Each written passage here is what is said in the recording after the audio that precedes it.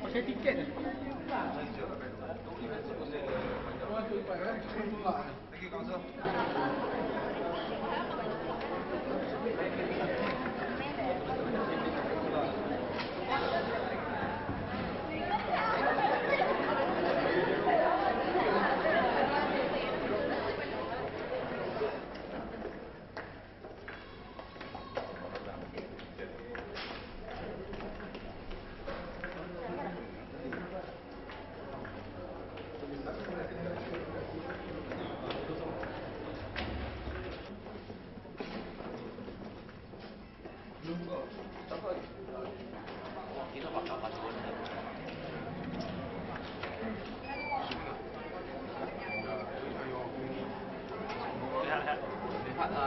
Hãy subscribe cho kênh Ghiền Mì Gõ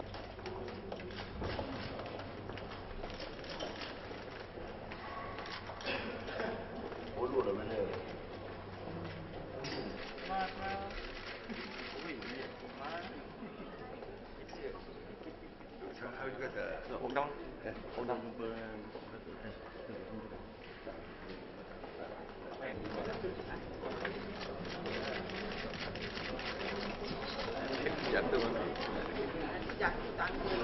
大的呢给大的呢给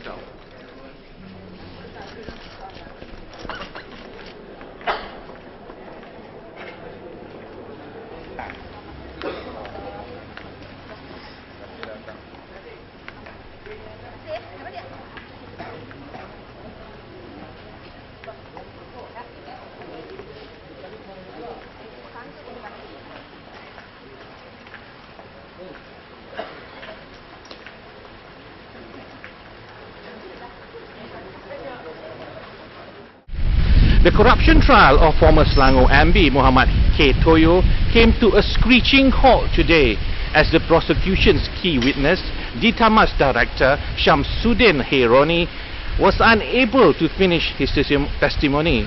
Agitated and nervous, Shamsudin was unable to answer questions posed to him by Deputy Public Prosecutor Abdul Wahab Muhammad. This had prompted Judge Mohtarudin Baki to postpone proceedings until 9 a.m. tomorrow morning, after the witness had proper time to rest and re- recuperate. This is Adlan Zakaria reporting for Malaysiakini TV.